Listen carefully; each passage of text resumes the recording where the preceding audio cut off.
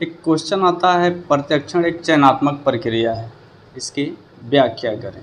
प्रत्यक्षण, यानी रिसेप्शन और ये बहुत ही इंटरेस्टिंग इंटरेस्टिंग चैप्टर होने वाला है तो उम्मीद है कि आपको समझ में बहुत ही आएगा, क्योंकि ये इस चैप्टर का नाम ही है, संवेदन एवं प्रत्यक्ष।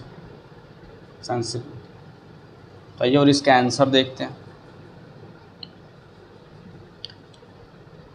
Perception is a selective process और इसकी हमें व्याख्या करनी प्रत्यक्षण एक चयनात्मक मानसिक प्रक्रिया है।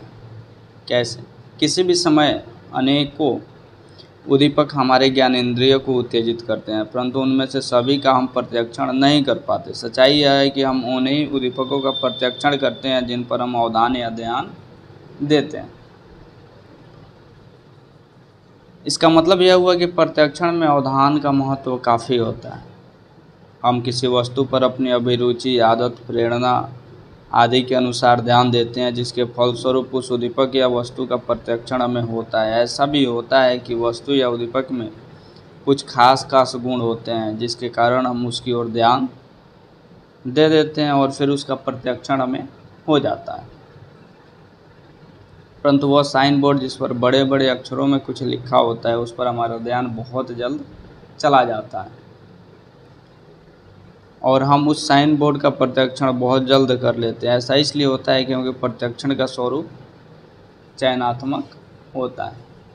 और निष्कर्ष निष्कर्ष स्वरूप हम कह सकते हैं निष्कर्ष के तौर पर कि प्रत्यक्षण एक ऐसी सक्रिय चयनात्मक मानसिक प्रक्रिया है जिसमें उद्दीपकों का द्वारा उत्पन्न संवेदन का हम अर्थ नहीं जोड़ते हैं, बल्कि अपने पूर्व अनुभूति के संदर्भ में उसकी व्याख्या भी करते हैं।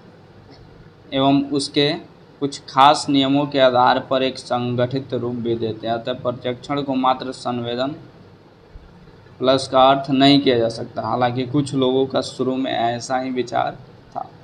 तो प्रत्यक्षण एक चयनात्मक प्रक्रिया है और ये डिपेंड करता है कि हमारा ध्यान किसी भी चीज़ के लिए कैसा है, किस चीज़ के बारे में हम कितना ज़्यादा सोच रहे हैं। ये बहुत ज़्यादा मैटर करता है।